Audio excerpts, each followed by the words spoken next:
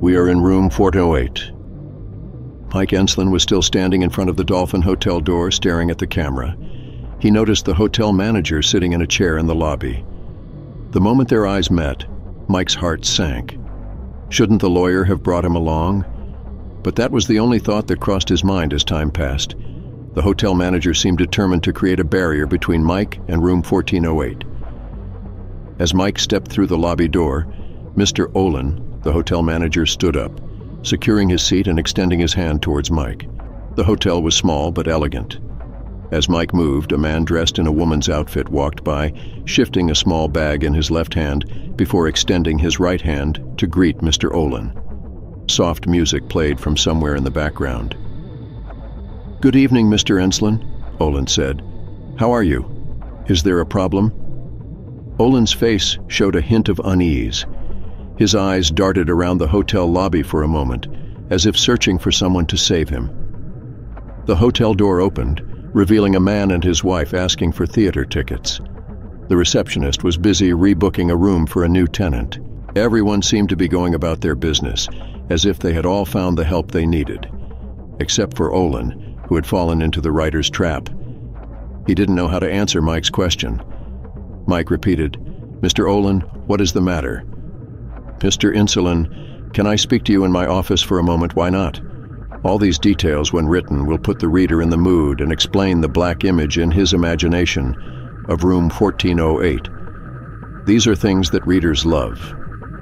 The receptionist assured Mike that the manager was really afraid of what could happen to him in room 1408. Yes, of course, we'll talk in your office. Olin reached for Mike's bag. Excuse me? Don't be shy. The bag only contains a change and a toothbrush. Are you sure? Yes.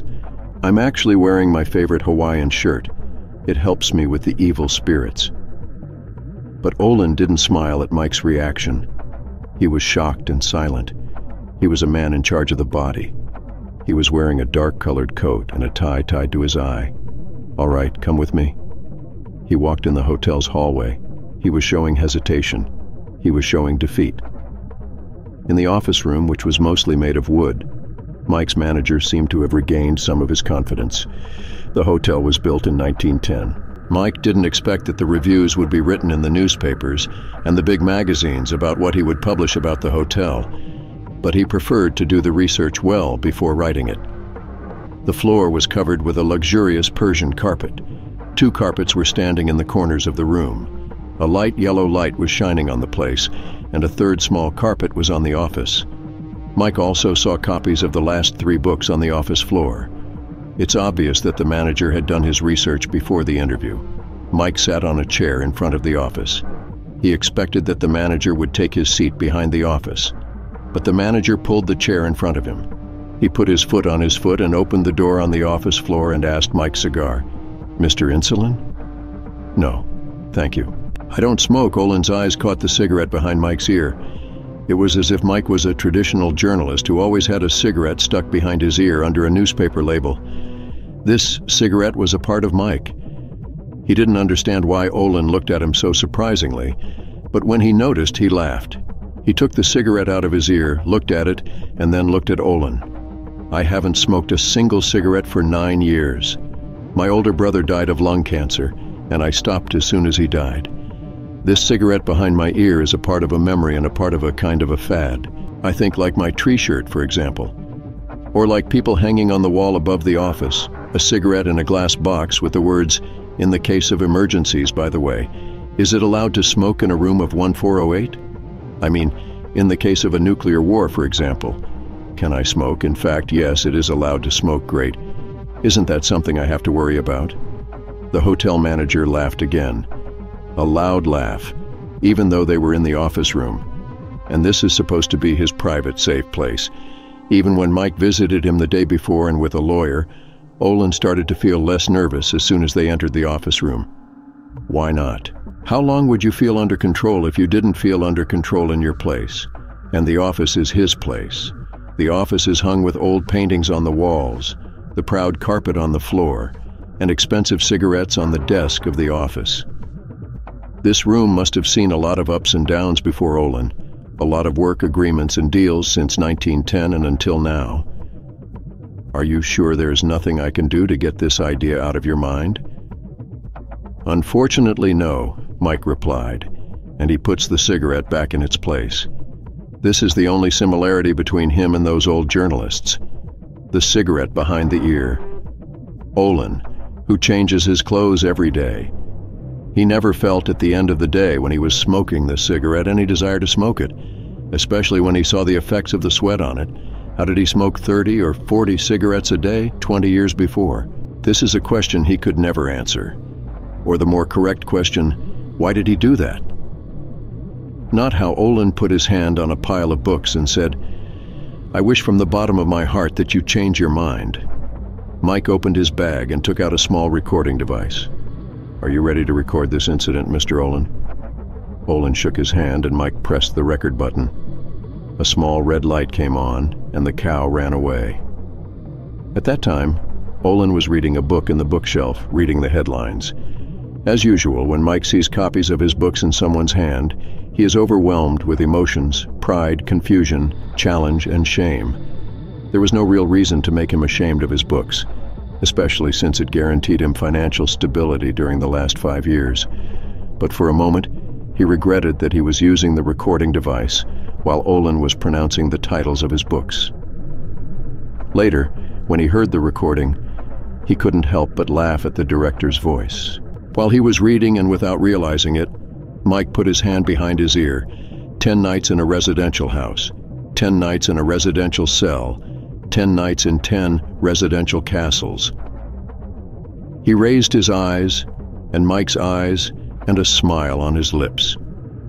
Of course, I visited Scotland for this book and maybe Vienna too, and all travel expenses can be deducted from taxes, of course. Right? The residential areas are your job in the first place. I want to say something. Are you sensitive about your books? Of course I am, but not to the point of weakness. Imagine that you can make me change my mind just by criticizing my books like that. No, no, not at all. I didn't mean to. It's just curiosity. I sent someone to buy all the books two days ago as soon as I received your offer. That was a request, not an offer. And it's still my request, and it won't change. And as the lawyer said, and as the law states, you don't have the right to stop me from staying in a particular room in the hotel if I ordered this room. The room is not occupied. Room 1408 is not occupied. In fact, room 1408 is never occupied. But his words couldn't distract Mr. Olin from the last three books for Mike, which were classified as the best-selling book for the New York Times. He simply flipped through the books for the third time. The light beige light shown on the cover, the purple used a lot in the cover design. Psychoanalysis is very suitable for horror books. That's what the publisher said to Mike. Unfortunately, I can't look at the books for more than a few hours. I was very busy. I'm always busy. The hotel is small compared to New York, but we have more than 90% of the time. And probably, a new problem will arise with every new book, like a problem with me. Mr. Olin smiled. No, I can say that you are a little bit different especially after your visit with the lawyer and all your threats. This sentence bothered Mike. He didn't threaten him in any way, unless the manager considered the presence of the lawyer a threat Mike had to bring a lawyer. But just like anyone, he used a key to open the door. Mike was forced to bring a lawyer with him. But like anyone, he had to use keys to unlock an old rusty box. He no longer had the key. With this idea, he had another one. In this case, he didn't own the alleged box. But the state law says the opposite clearly. If you want to take room 1408, that's your right, as long as no one else asks for it first. He noticed that Olin was watching him. He still had that sad smile on his face, as if he was listening to Mike's inner dialogue, word for word. It was an uncomfortable feeling. Mike began to feel that the whole interview was uncomfortable. He felt that as soon as he turned on the recording device, which usually shakes the other side, he was in a defensive position. Mr. Olin, I feel that you want to say something. And honestly, I can't say it. Forgive me, it's been a long day. If we talk about room 1408, please allow me to take the room now and... I read some of the, uh, what do you call them? Articles? Notes? Mike used to call them the sources of quick income. But he wouldn't say that, and the recording device was on. Although, this recording device is his. Ah, stories. Yes. I read a story from every book. I mean, I read the story of the House of Trelsby, the Resident, from the book The Resident's House. Yes, yes, the one about the clown. The clown that the Trelsby family killed, made up of six people, and we still don't know who he is. Yes, exactly. I also read the story about the night you spent in the cemetery in Alaska, about the grave of the two murderers, and I also read your testimony about the night you spent in Gatsby Castle. This was very interesting. I was amazed, to be honest. Mike was well trained to pick up any joke about his books, and sometimes he was embarrassed to hear a joke, although it wasn't always true.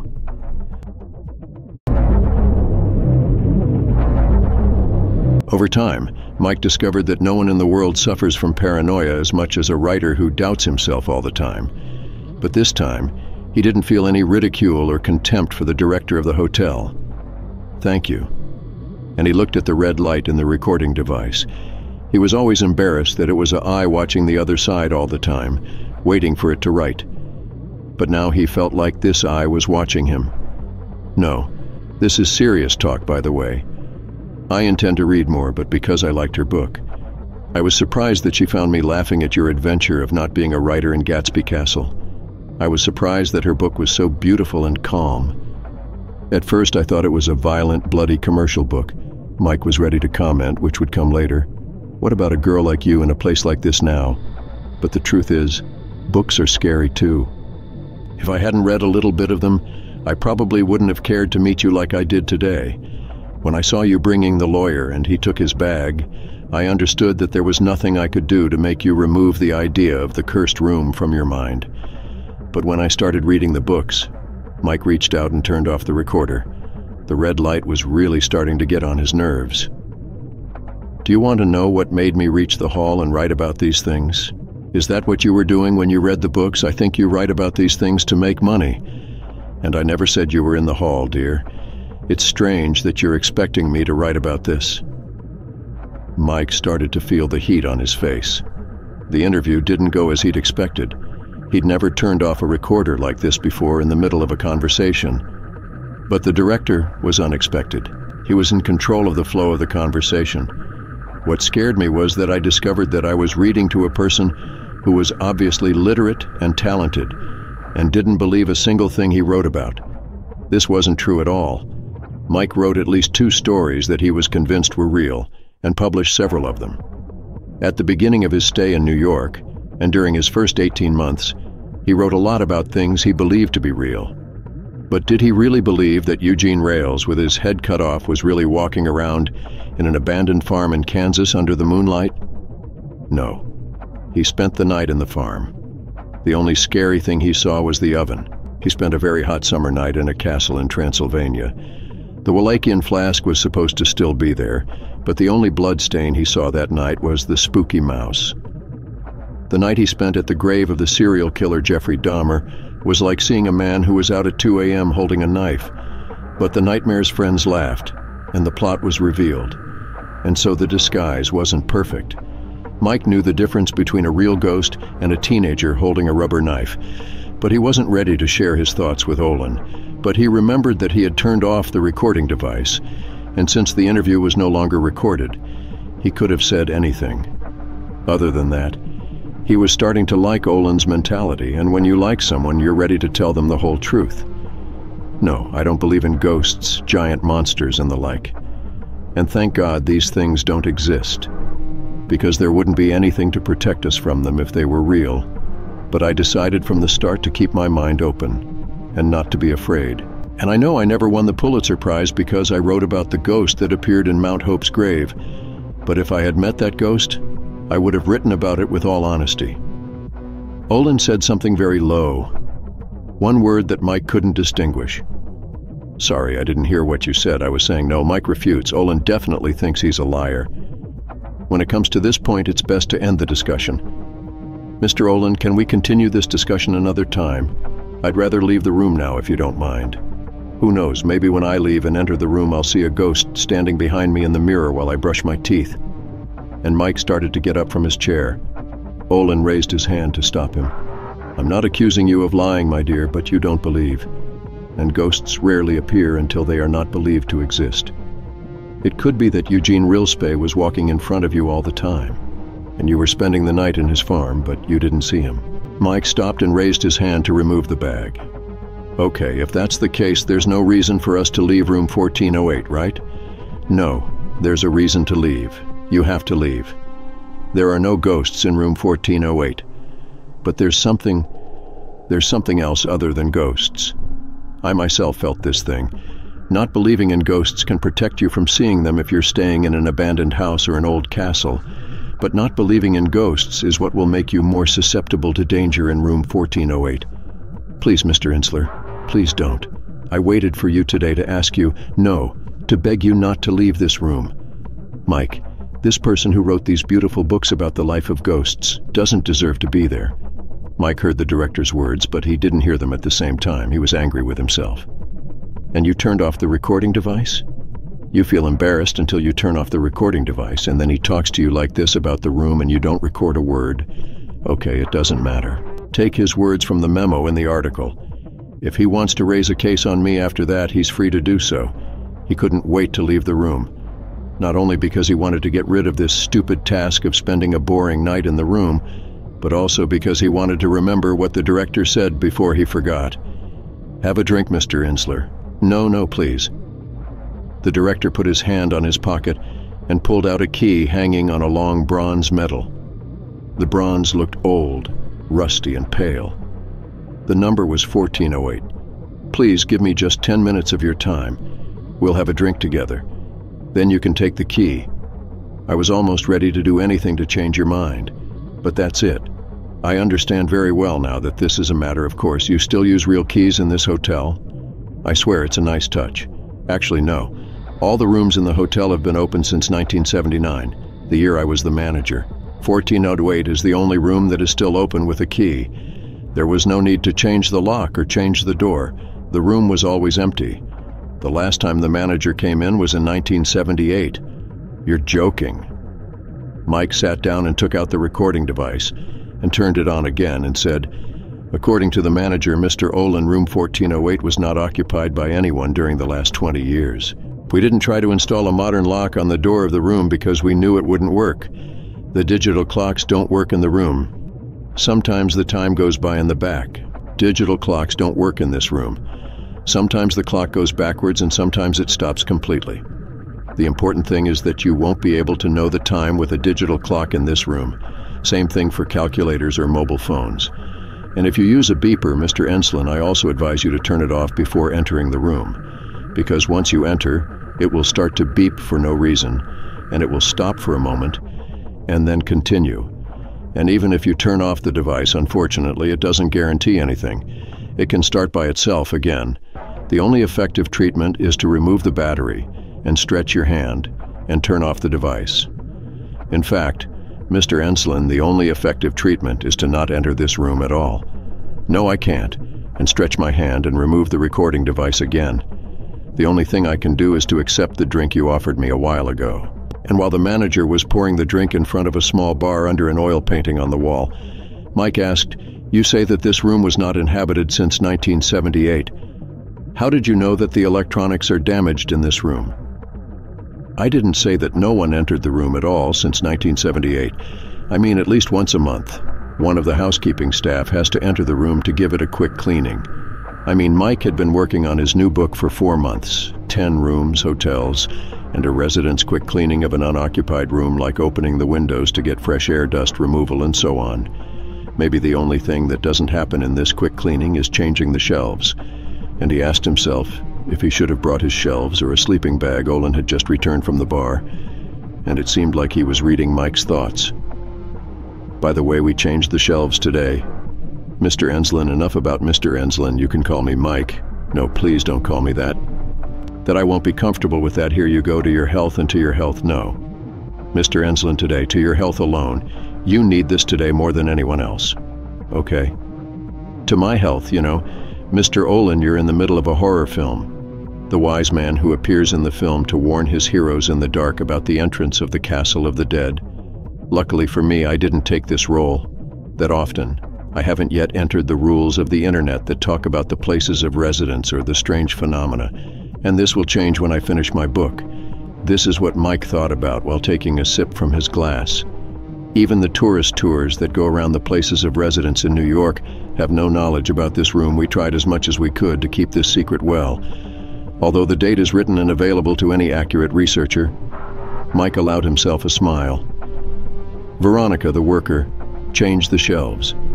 I entered the room with her myself. Veronica and her sister have been working here since 1971 or 1972, approximately one of the oldest workers in the hotel. I'm the oldest, personally, in six years, and she was a maid until she became the head of the housekeeping. I think this is the first time she has changed the shelves by herself in six years. Approximately, you should be proud of yourself, Mr. Enslin. It's like someone from the royal family changing the shelves by himself. Veronica and her sister, the worker, who died in 1992, were changing the shelves to clean this room. Maybe the link between the two sisters made them. What's the word? Yes, yes, it's like they have a ban against the room, 1408 a ban, that is enforced at a certain time. They can only give it a quick clean. Please don't tell me her sister died of a terrible death because of the room, no. Not at all. Her sister quit her job in 1988 for health reasons, even though you didn't believe that the room has a connection to her physical and psychological deterioration. We have reached a good stage of understanding, Mr. Olin, and I'm sorry. I'm afraid to ruin this understanding. If I say I think all this is nonsense, you are very stubborn, even though you are a researcher in the field of paper.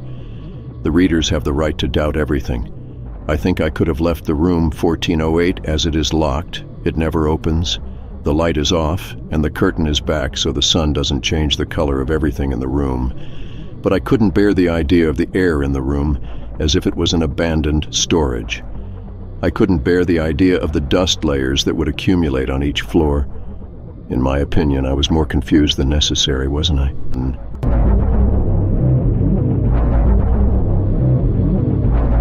No, not at all. You are the manager of the hotel, and this is your job anyway. The twin sisters were able to clean this room in a very short time. Then one of them passed away and the other left the job. So I chose two other employees to do this job, I always choose two who have a very good relationship to enter the room, hoping that the connection between them protects them exactly. And you have the right to laugh at all this at your convenience, Mr. Enslin. But you will feel that there is something in the room as soon as you enter it. I'm sure of that whoever lives in this room is not shy at all. I used to enter the room a lot with the employees to supervise the cleaning, and most importantly, to get them out of the room if something happened until now, nothing happened. There were rare cases where some of them entered the room with a sudden burst of tears for no reason. And in other cases, they entered the room with a hysterical burst of laughter. I don't know how someone can laugh for no reason, and without controlling himself, he can be more scary than someone who cries for no reason. But it's true, some of them were in a state of deep silence. Besides that, I don't think anything important happened during the past years. I used to keep them in this room with some initial experiments, with mobile phones, digital devices, and the like. Despite my observations regarding digital devices, nothing happened. And thank God for that. The manager stopped talking for a second, and then he said one of them fainted. Yes, fainted. Her name was Romy Van Gilder. She was cleaning the floor on the TV, and suddenly she started screaming. I asked her, What's wrong? She threw the dustbin out of her hand and put her hands on her eyes and screamed. She screamed and said that she fainted, that she couldn't see anything but a mixture of colors, and that's it. As soon as I took her out of the room, the colors disappeared, and until she got to the elevator, her vision returned to her. Are you trying to scare me with this? Is this what you're trying to do now? Mr. Olin, of course not. You know the history of the room that started with the first suicide that I mentioned. Mike knew this information. Kevin O'Malley, a tailor who committed suicide on October 13, 1910, he jumped out of the window and left behind a bucket, and seven children, five men, five men, and one woman. All of them jumped out of the window. Mr. Enslin, three women and one man, died of a high fever from the sedatives, and two were found in the bed, and two were found in the bathroom, and one committed suicide in 1970. Another one after he cut his hand, cut his genitals. What I want to say, Mr. Enslin, is that if all these stories didn't scare you out of the room, then of course my stories about the servants who cleaned the room won't succeed in this mission. The servants who stopped to enter this room are very few more than a few except for the two sisters. Exactly Mike wasn't very interested in the stories of the cleaners, and he was a bit annoyed by the mention of the suicide director. As if Mike didn't know what happened or didn't know the essence of this suicide, except that in fact it doesn't have any essence. Abraham Lincoln and John Kennedy both had their deputies named Johnson, whose names are composed of seven letters. Lincoln was elected in 1860 and Kennedy in 1960. What is the point of these similarities? Nothing. These suicide stories will be very useful in the book, of course, but since the recording device is off, let me tell you my real opinion. These stories are not evidence of anything in general, Mr. Enslin. Listen to me carefully.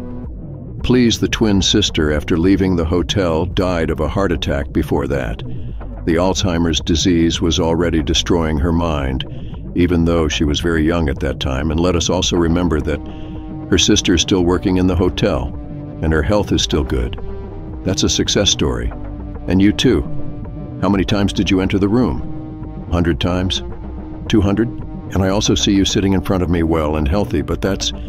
You seem to be sitting in front of me in a good and healthy way. But that's only for a few short moments I enter and exit at once.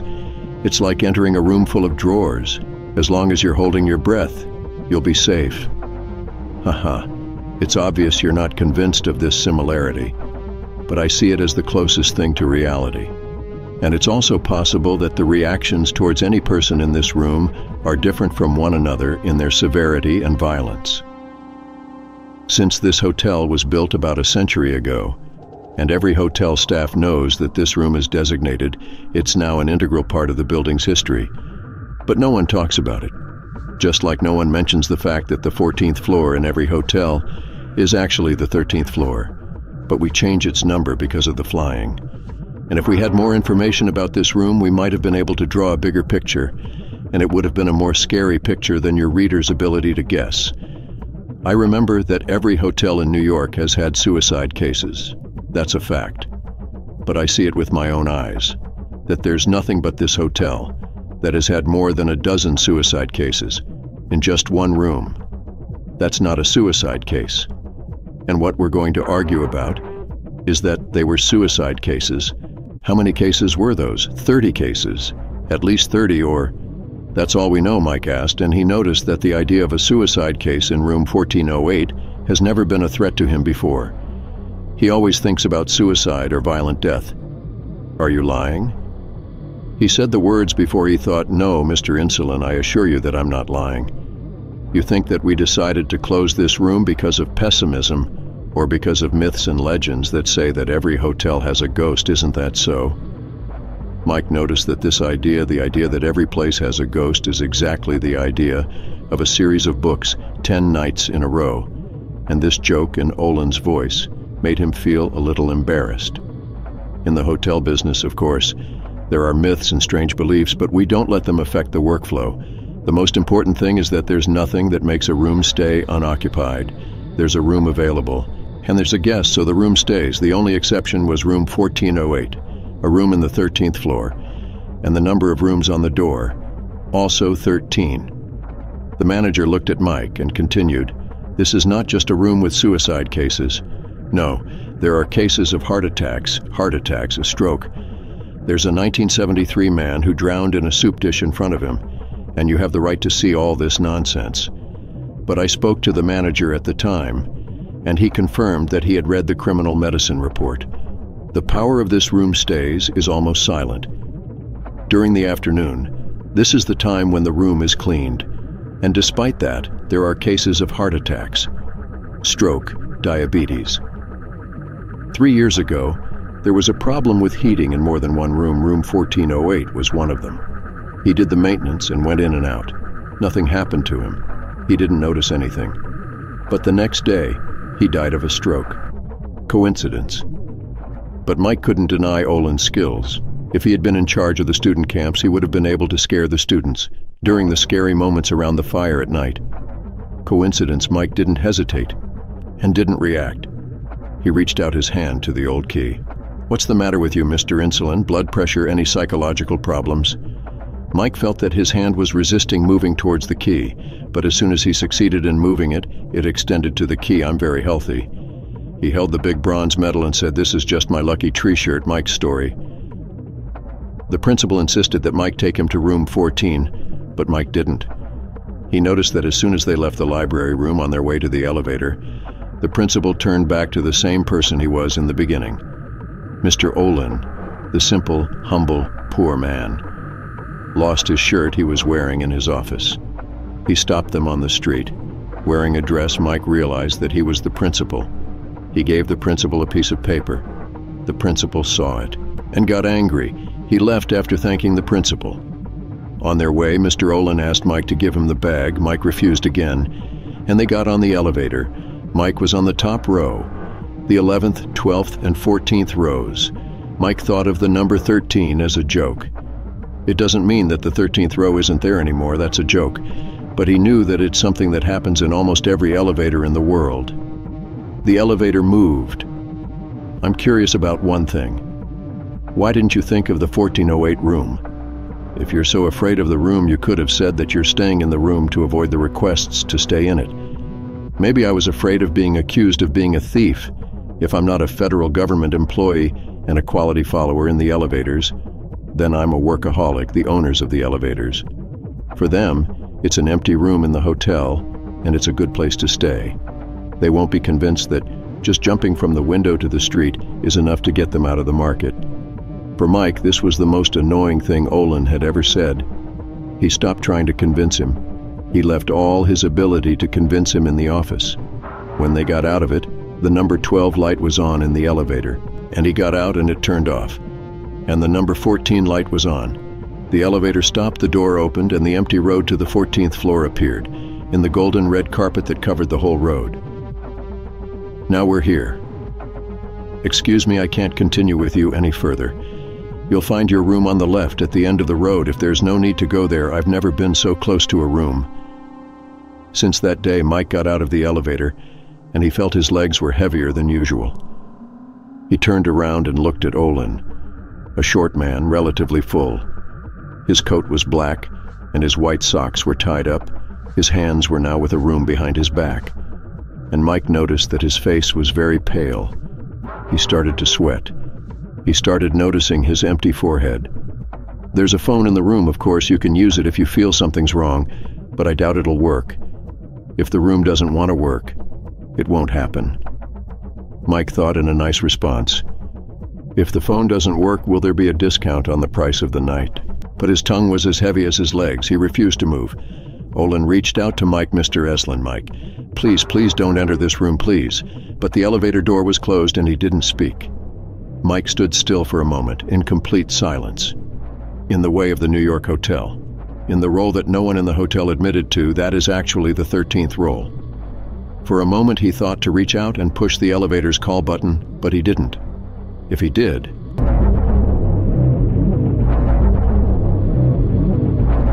Olin would have won. And the worst thing is that the most important chapter in his next book won't be written. Of course, the readers won't know the truth. His lawyer and the author of the book won't know either. The lawyer probably won't know either, but he'll know. But the elevator didn't work. He reached out to the cigarette behind his ear and made a reckless move that he couldn't remember. He threw his shirt and started moving towards room 1408. 11 minutes of recording on the small recorder.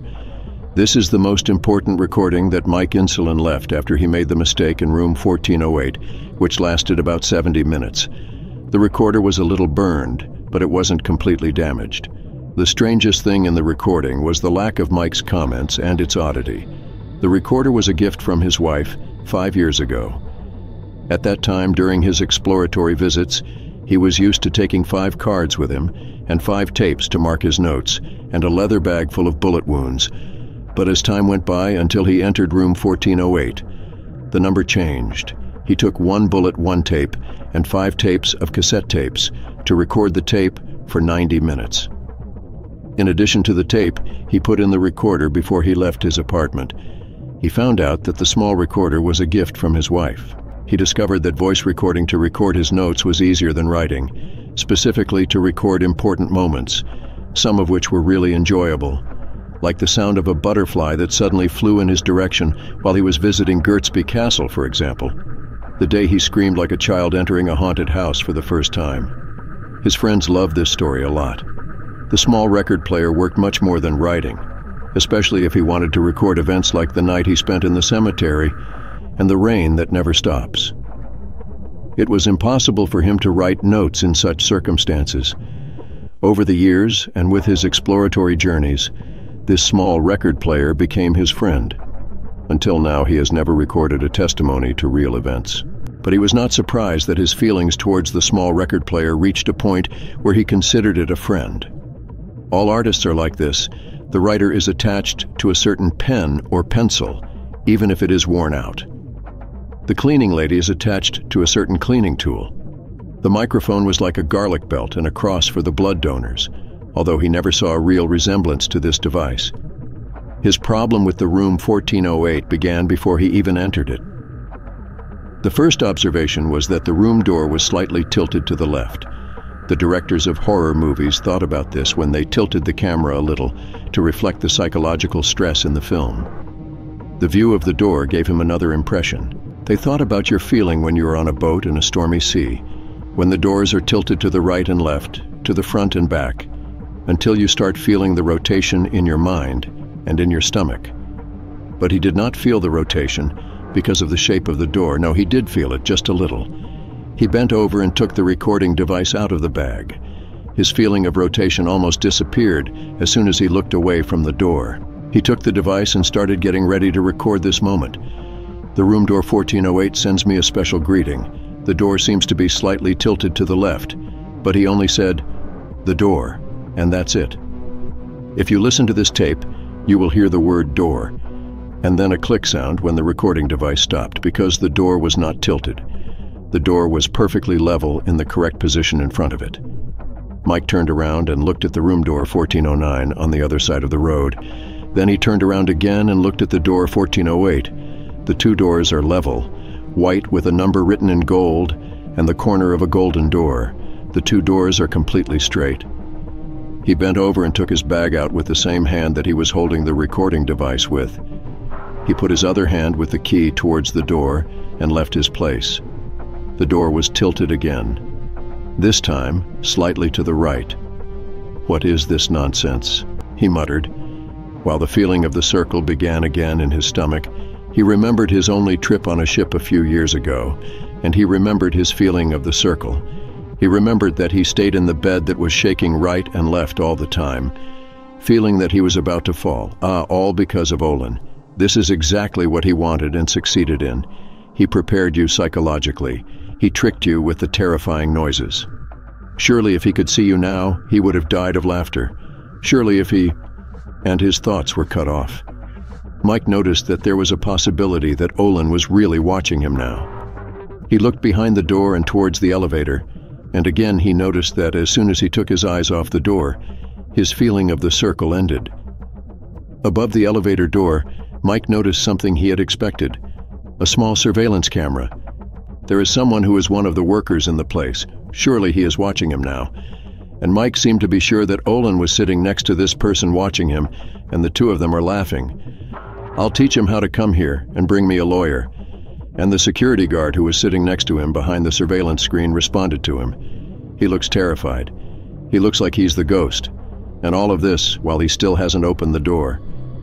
You won over me, boss. No, I won't let them feel that they won over me.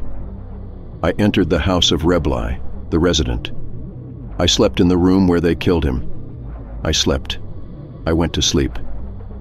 I spent the night next to the grave of Jeffrey Dahmer, and the two nights at Lovecraft's grave personally. I brushed my teeth in the bathroom where Sir David Smith killed his twin brother. No, no, no. I'm not afraid of the stories of the ghosts, ladies and gentlemen.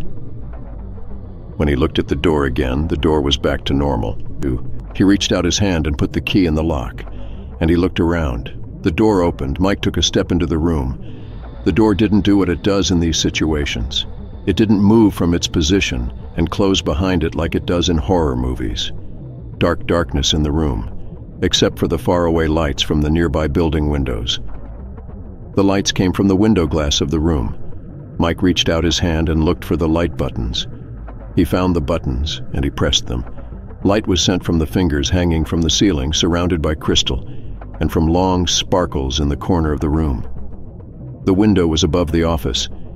Anyone who sits and writes in this place can, during their break, look out of the window while writing or jump out of the window if they feel the need to jump out of the window. Mike put down his bag and closed the door. He pressed the record button, and the red light in the device lit up. According to Mr. Olin, there are six people who jumped out of the window I'm looking at now. But I don't intend to jump from the 14th floor. I mean the 13th floor. Apart from that, there's a metal frame on the window, outside, for protection. Oh, security first. Room 1408 can be considered a small wing in the hotel. The room I'm in now has two chairs, a sofa, a desk, a closed closet with a TV, and maybe a minibar. The carpet on the floor is simple, not as luxurious as the Persian carpet in the director's office. The walls are covered with wallpapers. And, and what's that? The record player will hear a click sound in these moments because Mike stopped recording again. The comments on the record are generally the same pattern, broken pieces. This is unusual and it hasn't happened in the 150 records he recorded before. His voice was also clearly out of focus.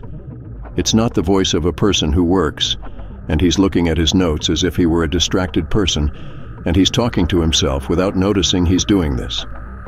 These disturbing recordings and the lack of focus and the noise of his voice make most people who hear the record unable to continue to the end. A feeling of unrest. A feeling that the person who recorded the record is losing his mind, or at least losing his connection to reality. The broken, distorted words give the feeling that something is happening. What Mike noticed before he stopped recording were the pictures hanging on the walls of the room. Three pictures. A picture of a woman in her 20s, wearing a pink dress, standing on the stairs. A picture of a religious ship, a painting of a silent nature, island. A fruit, painted in an ugly orange color, an apple, an orange, and a banana. The three pictures are highlighted. Three distorted pictures. He was hanging the pictures on the wall, but why? What's so strange about the three distorted pictures? The door being distorted, yes, it's strange, but the door wasn't distorted, it was just moving. His eyes were deceiving him, nothing more. The picture of the woman standing on the stairs, tilted to the left, and the picture of the ship as well the picture of the British Navy watching the floating fish in the sea. The silent nature, which seemed to Mike to be drawn in the light of a scorching sun, was tilted to the right. Mike was not suffering from depression, but he was adjusting the picture. Looking at them while they were tilted like this was like hitting them with a pickaxe. And that wasn't surprising.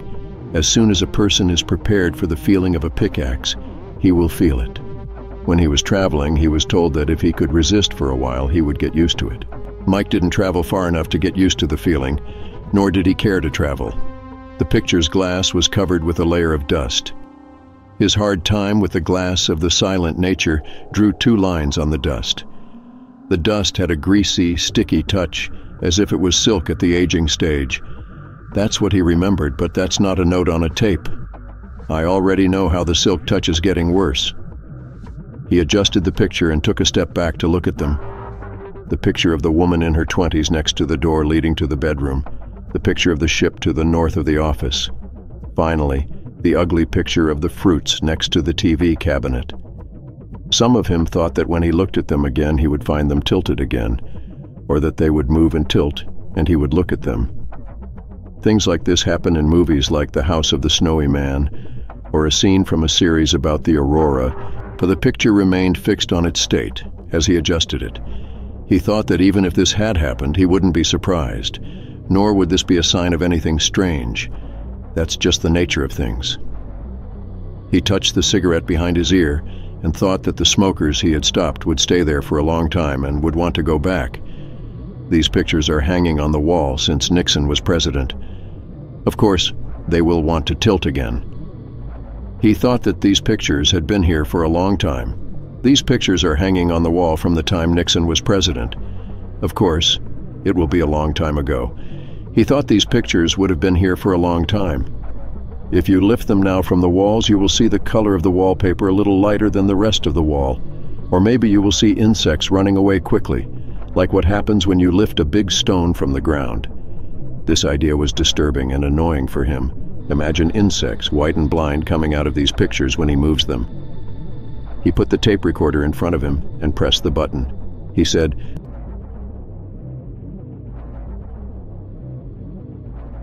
Oh, Olin really affected my way of thinking. He wanted to scare me and he succeeded. I have to try to control myself a little. This sentence on the tape was printed with the sound of a click. The recording was over. He closed his eyes and took four deep breaths. He held every breath for five seconds before exhaling. Nothing like this has ever happened to him before in the house, unless it was supposed to be a residential area, not even in the cemeteries and castles that are said to be residential. The feeling now was not that he was in a residential place, but as if he were under the influence of cheap drugs. Olin is the reason. Your sleep is magnetically. But you will wake up and spend the whole night in this damn room. This is the best place I've ever visited to write about him. Get Olin out of the subject, and you'll have a piece to write ghost stories for 10 years. Olin can't win. He and his friends are not among the 30 people who died here. The whole thing is in my hands now. Breathe, inhale, exhale, inhale, exhale. It was dressed like a traditional one, with a lining on the shoulder and a curtain. In the picture, there were also cars of old models walking in the street in front of the hotel. The cabriolet and the vacuum cleaner seems to have been around since 1955. And what is this cabriolet? He put it in his pocket, with his shirt and his tree. I will keep it as a souvenir. And now, it is time for the clean air. On the tape, there is a noise when he puts the tape on the desk, usually the desk of the office. Then there is a moment of silence. Then there are far-off voices of a person trying and putting in a lot of effort in a difficult job. Then there is a moment of silence again. Then there's a faint voice and Mike says, I did it. This was a bit far from Mike. But he gets closer to Mike, he lifts him from the desk and he speaks. I did it. The lower part of the window was not ready to respond. It was as if it was choked with nails. But the upper part was not a problem. Now I can hear the traffic noise in the street and all the car noises. The sounds are very comfortable for me right now. There's a sound of someone playing the saxophone in the street, probably in front of the plaza, a few blocks away. It reminds me of my brother. And he stops talking. The red light in the tape was on. It was as if it was an eye looking at him with a threat. Your brother? Your brother is dead. Mike Enslin fell in the smoke war. What do you mean? We are all in war. Mike Enslin always wins in every battle, but Donald Enslin. In fact, my brother had diabetes a long time ago during the harsh winter on the highway to Connecticut. He laughed and closed the tape. There are still other recordings on the tape after this sentence, but this was the last sentence he understood. The last sentence may have meaning. Mike turned around and looked at the photos again. They were still attached correctly. Nice photos, but this silent nature was an ugly drawing in an annoying way. He pressed the record button and said two words, and that's it. Portuguese smoke. He closed the tape. He walked through the room towards the bedroom door. He stood for a moment in front of the picture of the woman hanging by the door. Then he reached out his hand in the dark of the room, looking for the light button. A moment's impression was in his mind at the time, a strange feeling as if he were skin, old, dead skin. There was something wrong with what he touched, the wall under his hand. But he found the light button, and the yellow light immersed the bedroom from another cloud in the ceiling, a large double-decker bed covered with yellow-orange tiles. Why are you hiding? He turned off the recorder and stopped the tape. He entered the room. He was amazed at the colors of the desert bed covers and the wrinkles of the pillows under the pillow. Should I sleep here? No, no, no, thanks. It's as if I'm going to sleep inside this annoying silent nature. He pressed the record button again and said, Orpheus on the Orpheum Circuit. He turned off the tape and walked to the bed. The bed was covered in yellow-orange, it was probably bright during the day, but now the colors of the bed reflected. There was a small bedside table on each side of the bed, a large black phone with a chain on it. The phone's chain opened as if it were wide, amazing eyes. On the other side of the table, there was a small plate with a plum blossom on it. Mike pressed the record button. This is not a real plum blossom. This is definitely plastic. He stopped the tape again. On the bed itself, there was the hotel's menu. Mike approached it, trying to make sure he didn't touch anything on the bed, and he held the menu. But his nails touched the bed, and Mike's voice was annoying. The touch was soft in a terrible way and a wrong way. But he picked up the menu and looked at it. It was written in French, and Mike doesn't know French. A thousand types of breakfast were birds fried in jars. At least that's something I believe French people eat. He thought about it and he smiled. When he opened his eyes again, the menu was in Russian. He opened his eyes again. It was written in Italian. He opened his eyes again. There was no menu at all. There was a picture drawn on the board, a boy looking at it with horror, and a wolf licking the boy's feet to the bone. And the wolf behind him looked like a dog enjoying his favorite game. I don't see that. The idea was in Mike's head, and of course he really didn't see that. Without closing his eyes this time, he saw in his hand a menu written in English, clearly in Russian. Each line had a type of egg, waffles, fruits. There were no birds fried in jars or anything. He looked around and slowly walked out of the small space between the wall and the bed. A space that he felt as if it were a grave. His heart beat so fast that he felt a punch in his neck, a bruise on his hand and chest, a terrible pain in his eye. There was something wrong in 1408. He was told that it was like entering a room with poisonous gas, and that's exactly what Mike felt as if someone forced him to inhale a mixture of drugs and insects. I'm sure that's why he did that. He's laughing now at his security colleagues watching him. He must have entered the room with the poisonous gas through the ventilation openings. And it doesn't mean that Mike doesn't see that there are no ventilation openings in the room. Mike looked around in horror. There was no light on the bed or the bedside table. The table was completely empty. He turned around to the door leading to the living room and left his place. There was a picture hanging by the door. He wasn't sure that there was a picture in the room when he entered. At that moment, he wasn't sure of anything. But he was almost sure that there was no picture hanging by the door, and the picture was a silent nature, a small layer of light on an old table, and the light in the picture was yellowish orange. I need to get out of here. He got excited and returned to the living room. He noticed the soft sound of his footsteps as if he was stepping on a hard surface. On the walls of the living room, the pictures were all tilted. The woman standing on the stairs was covered with blood. And Mike looked at her with a scary smile. Her teeth were like human flesh. The sailors disappeared from the picture. They were lined up with men and women. On the left, near the front of the ship, there was a man standing. He was wearing a brown suit and a baton in his hand. Near the front of the ship, there was a man standing, wearing a brown suit instead of a blue one, holding a baton in his hand, with a shocking expression on his face. Mike knew this man's name, Kevin O'Malley. This was his first time in the room in 1408. The sewing machines that jumped out of the window in October 1910. Everyone next to O'Malley was a victim of this room. All of them were shocked faces, as if they were all members of the same family.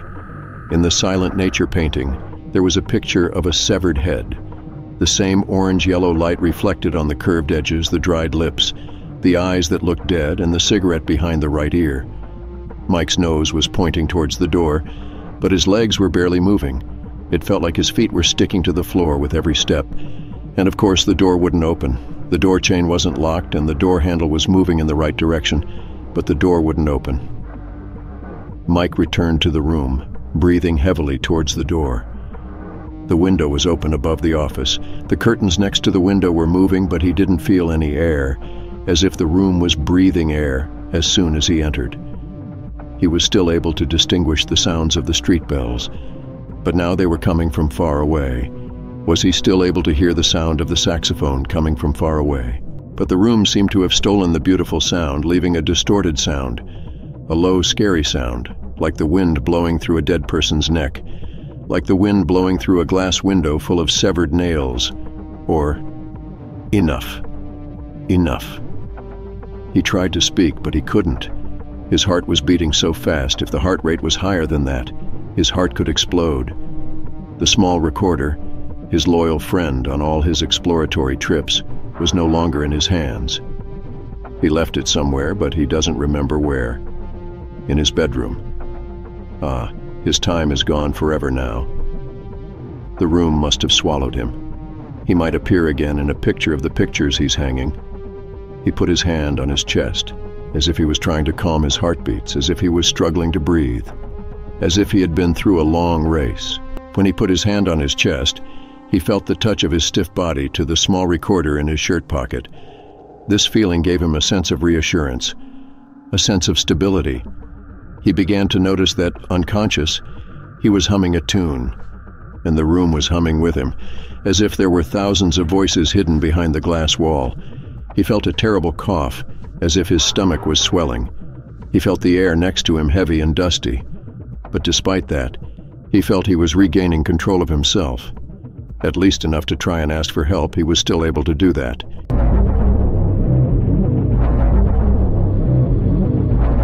The idea that Olin would look at him with victory and say, I didn't tell you, didn't bother him at the time. The idea that Olin was the reason for all this and that he poisoned the room with gas and that he was hallucinating was a complete mind blow. The room was behind all that was happening, the room we saw. He was reaching his hand towards the large black phone in the office, a copy of the phone next to the bed in the bedroom, but his hand was not reaching fast. It was moving very slowly as if he were diving underwater, to the point that he was afraid he would start seeing the air around him. He raised the speaker very slowly, while his other hand was moving very slowly, and was dialing the number zero on the phone. While his hand was pointing to the speaker, he heard the phone ringing and was going back to his place after dialing the number. The sound was like the sound of a racing car in a racing show. Be careful, dear racer. If you don't know how to answer the question, you'll be left on the road to hell. He didn't hear the ringing of the phone in his ear. He only heard a rough sound and started talking. This is the ninth. The ninth, this is the ninth, the ninth, and this is the tenth, the tenth. We killed all your friends. All your friends are now dead the sixth. The horror increased and Mike heard, not because of the words the voice was repeating, but because of the hollow look of the voice he was speaking to. It wasn't a machine voice, but it wasn't a human voice either. That was the sound of the room. The thing that lives in the room is leaking from the walls and the floor and is speaking from the phone, something that has nothing to do or looks like any other experience I've had before, something from another world, Something that hasn't arrived yet, but it's getting closer. Something very hungry. Where is dinner? Mike turned around. The phone's ringing and the wind was moving like a dandelion, like his stomach in his stomach. He was still hearing the sound out of the darkness.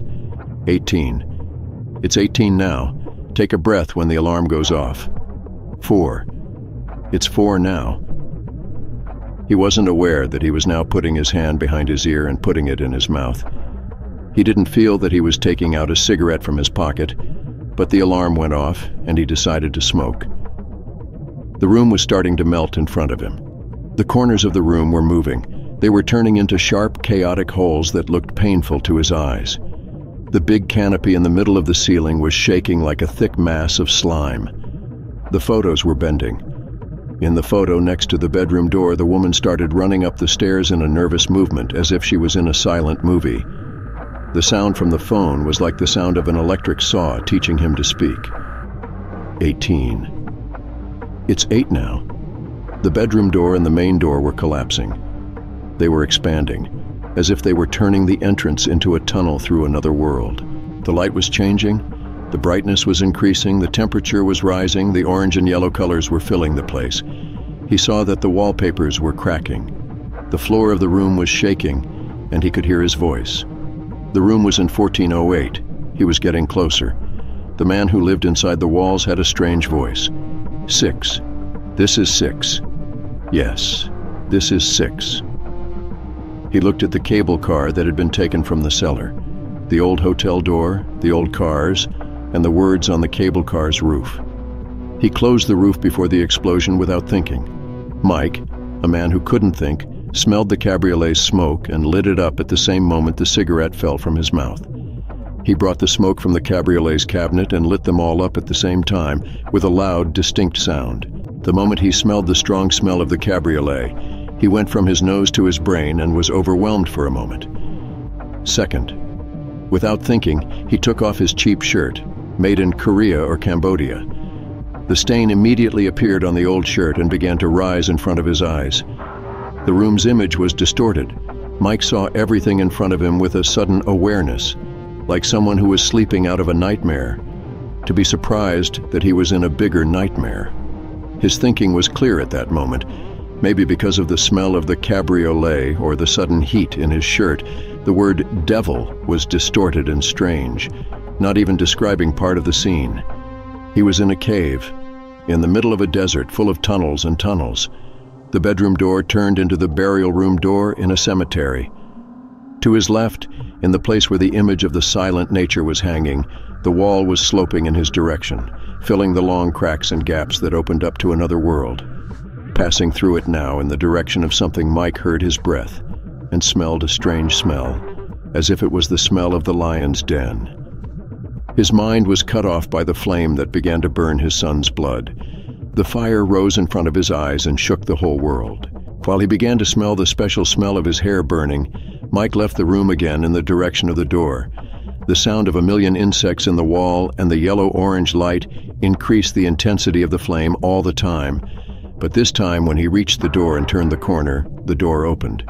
As if the thing that inhabited this room had lost its interest in a burning person, or as if it was not very interested in the grilled meat. There is a famous song that says that love can make the world spin, and that chance is often greater than love in real changes in the world. Rufus Dearborn lived in the room 1414. The room was near the elevator. He was a salesman for a sewing machine. He came to New York to apply for a job in an executive position. About 90 years ago, when he first came down to the room in 1408, he jumped out of the window and another one, a salesman for a sewing machine, saved the room. Maybe this is exaggeration. Maybe Mike Enslin would have lived like this even if no one was present in the hallway of the hotel at that time. The fire that catches your shirt is not a simple thing, and it was probably going to be much worse if Dearborn had not thought fast and moved faster. Although Dearborn did not exactly remember what happened, he was able to make up a story that he would tell the journalists and in front of the TV cameras. He was happy with the idea of showing up in the hero's picture, this would surely help him get the job he came for. He clearly thought he saw someone holding fire running down the hallway of the hotel. Any further details were totally confused. It was impossible to remember the details precisely. Was completely confused. It was impossible to remember the details. The only thing he didn't tell any journalist because it was strange was that the man's screams were heard all the time. As if someone was raising his voice from a stereo, it was right in front of him. The sound of the scream didn't change, but the sound was changing, as if a high-pitched sound was coming closer all the time. Dearborn was running on the road holding a bag full of snow. His shirt was burning. I noticed it immediately. That's what he told the journalist. He was running until he hit the door of the room in front of him and fell on his knees on the floor. That's the moment when Dearborn reached it. He put his foot on the shoulder of the man, screaming. He hit the carpet of the hotel's floor and took the contents of the bag he brought from the snow machine in the hotel. The details of these memories are vivid in his mind. He noticed that the light of the fire from the shirt was much bigger than usual, an orange light, yellow, strange. He thought about a trip he and his brother went to Australia for years, the amazing Australian desert, the giant rocks, the unimaginable temperature, the light on the man's face was like the sunset light on their faces in the desert at the time. It was like the light on his face was coming from somewhere else. He fell on his knees on the floor next to the man, who was no longer very burning. The man was covered with ice cubes. They pushed him to turn him over to put out the flames of the fire, which was still attached to the shirt. The man's skin on the left side of his neck had turned red. The edges of his chest melted and deformed, but in contrast, Dearborn looked up at the room the man had come from. Madness, something incomprehensible. The light came from behind the room's door, the same colors that Dearborn had imagined from his trip, the yellow-hot light of the deserted desert. Except for this terrifying light, he heard a voice as if he were talking to someone dear, outside the door. For a moment, he felt like he wanted to open the door, to go in and see what was behind it.